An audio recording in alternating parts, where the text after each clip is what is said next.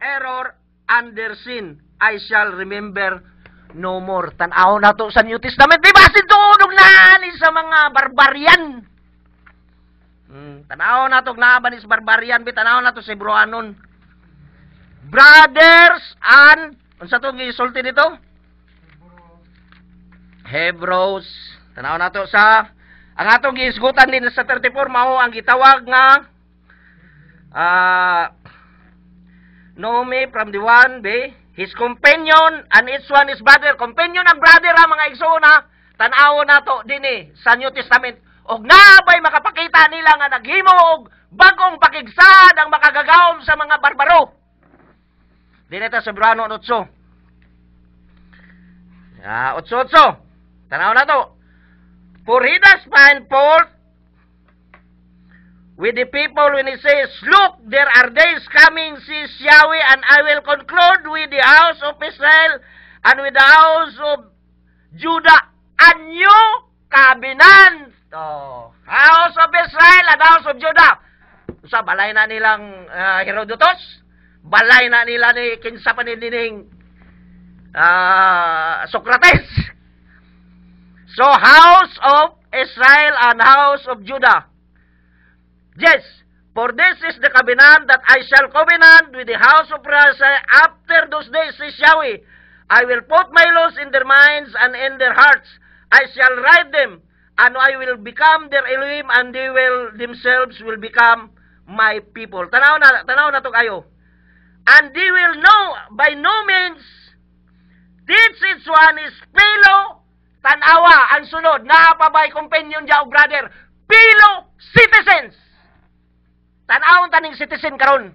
Kung ang atong citizenship ba magpabilin ba ang atong citizenship i transfer ba nato ang ato sa Greek? O kinahanglan ang atong citizenship i-transfer nato ang ato sa pagka ah, Israel. So natataw na mga igsoon nga nag-ingon and they will by no means each one uh, teach his, his fellow citizen and each one his brother na wala na tong companion, di ba? Na ilisan og citizens. Isig ka tagi lungsod. Sunod. Kaya din na. No Yahweh, for they will all know me, from the last one of the greatest one of them. For I shall be merciful to their unrighteousness and deeds. So ang atong isgutan dito sa ka- sa sa sa una sa Old Testament, companions and ah, brothers ba to? Dinhi sa New Testament, wala nawala ang companions na imong fellow citizens. Tanaw na nato ning citizens. Kaning citizenship nato.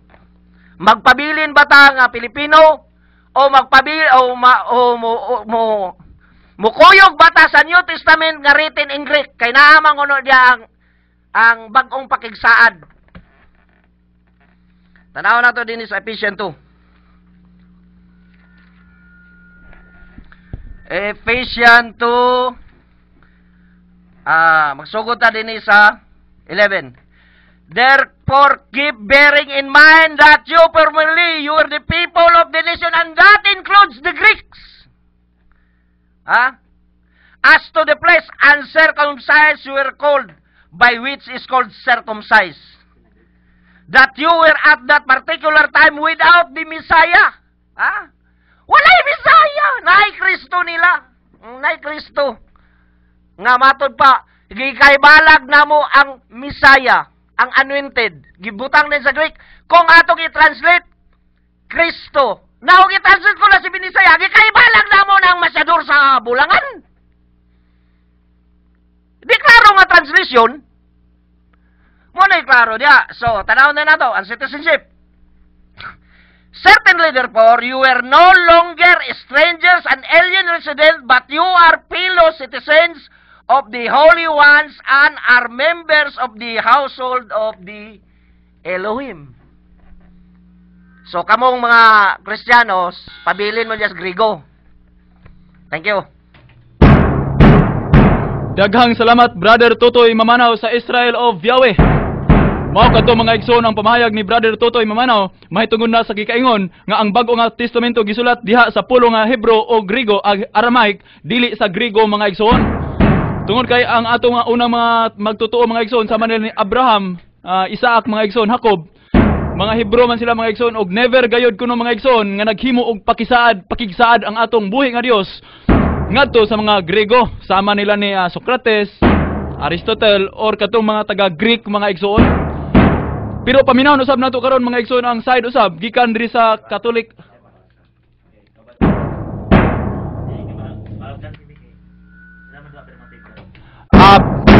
Sige mga igsoon, before nato i-refute usab ang mga pamahayag ni Brother ah, Tutoy Mamanaw, dugangan pa kadto mga igsoon sa pag ah, mga proof pag yun mga igsoon, pinaagi usab ni Brother ah, Pedrito Tabalon mga igsoon gikan sa Assemblies of Yahweh mga igsoon. Dugangan ka na mga igsoon ni Brother at ah, Pedrito Tabalon. Kadang salamat.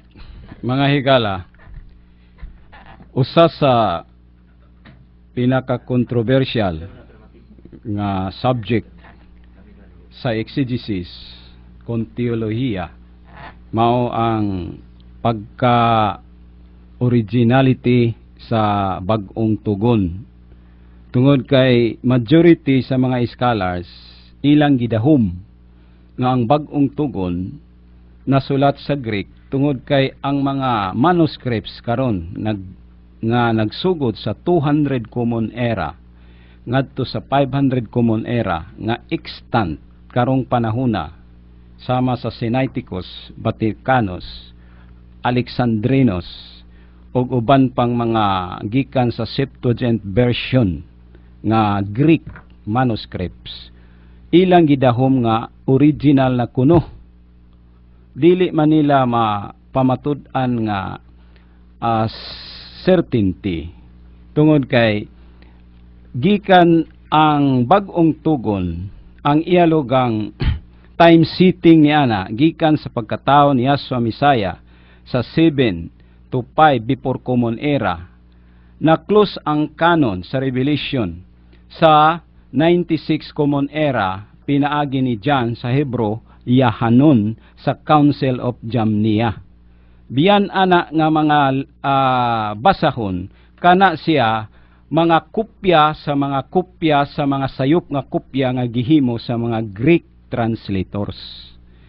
Pamatud-an tana pinaagi sa mga scholars nga nagpamatuod ni ana sama ni ah, Edward Gibbons ang giila nga maoy greatest sa modern historians sa history of Christianity mabasa nato sa page 186 giingon din eh the modern critics are not disposed to believe what the fathers almost unanimously assert that St. Matthew composed a Hebrew evangel of which only the Greek translation is extant.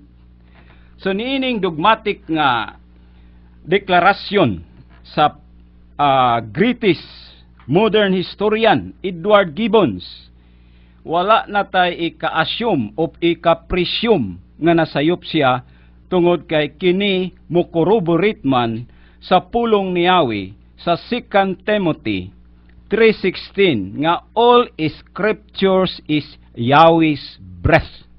So gininhawa ba?